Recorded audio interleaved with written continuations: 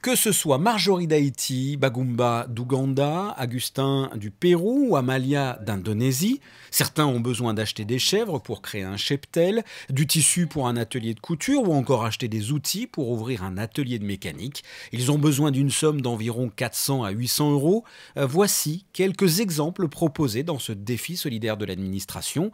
La direction de la coopération internationale et Babylone, spécialisée dans les microcrédits en ligne, ont sélectionné 71 projets de micro-entrepreneurs provenant de 9 pays en développement. Tous les fonctionnaires et agents de l'État disposant d'une adresse mail se terminant par gouv.mc sont appelés à voter pour trois de ces projets, comme ici à l'administration des domaines.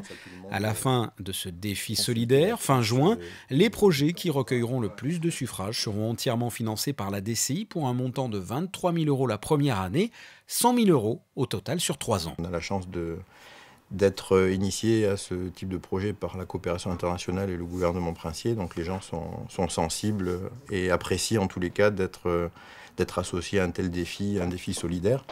Euh, les microcrédits, on en parle depuis pas mal d'années et certains concrètement ne savaient pas exactement comment ils pouvaient à titre personnel bah, s'impliquer dans, les histoires de, de, personnes en difficulté. Donc là, c'était l'occasion et on remercie la coopération internationale d'avoir eu cette idée en tous les cas. Direction le service des travaux publics où un autre référent prêche la bonne parole et explique à ses collaborateurs le principe de ce défi solidaire. Charles Spotty est déjà un babylonien. Je les connais depuis 2011. Je, me suis inscrit chez eux justement parce que j'aimais beaucoup leur concept euh, d'aider les gens qui sont dans le besoin, mais euh, avec des prêts qui leur permettent de, réaliser une opération euh, qui va aider leur famille, qui va alors qu'ils n'ont pas accès aux banques euh, d'une manière générale dans leur pays. Donc euh, j'ai fait des, prêts de 2012 à 2014 dans, dans, un premier temps, une dizaine de dossiers que j'ai aidés, euh, notamment surtout au Cambodge. Et je trouve que le fait de s'être allié à Babylone pour faire les microcrédits, c'est vraiment quelque chose de super parce que il n'y a pas besoin d'une grosse infrastructure. Babylone fait déjà tout de son côté. Ça fonctionne. C'est prouvé que c'est au point. Donc, euh, ça permet tout de suite d'investir dans quelque chose de concret, rapide et très utile. Et je trouve que c'est une idée formidable. Un mail a été envoyé aux personnes disposant d'une adresse finissant par gouv.mc, ce qui représente environ 2000 fonctionnaires et agents de l'État. Chacun devra voter en fonction de ses propres critères de sélection. Déjà, je pense qu'il est intéressant d'aller voir un petit peu dans chaque pays les histoires euh, des uns et des autres. Euh, personnellement, je, pense euh, faire mes votes, enfin un vote par, par pays, enfin trois pays différents peut-être, et, être plus plus amené à m'orienter vers euh, des personnes en difficulté d'un certain âge, puisqu'il n'y a pas de couverture sociale dans certains pays, pas de retraite, donc des personnes âgées qui sont obligées de, continuer à travailler au-delà de 75 ans. Les critères sont personnels, hein. je ne dis pas que c'est un exemple à suivre.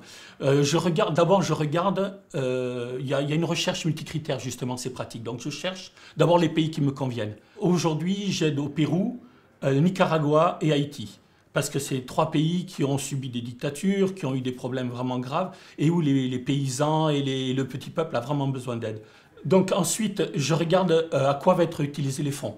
Donc si c'est des fonds pour euh, acheter des cosmétiques, des trucs comme ça, personnellement, ça ne me parle pas. Par contre, si c'est pour acheter du bétail, pour augmenter un cheptel, si c'est pour euh, embaucher des, cultivateurs pour exploiter à nouveau du quinoa, des choses comme ça, donc ça, ça crée des emplois. Quand c'est des familles, par exemple, qui ont des enfants et le mari est décédé ou des choses comme ça, ça, je pense que ça mérite vraiment d'être aidé. Euh, tout ce qui est dans le commerce, je vais donner plutôt priorité à une femme, parce que pour gérer l'argent, pour le business, elles sont plus, logiques et plus efficaces dans, cette partie-là. Par contre, tout ce qui est agriculture, je privilégie un homme, parce que c'est des, pays où le travail est dur, et donc l'homme va être plus à, même de soutenir le projet. Les votes sont ouverts depuis ce mercredi 1er juin jusqu'au 30 juin.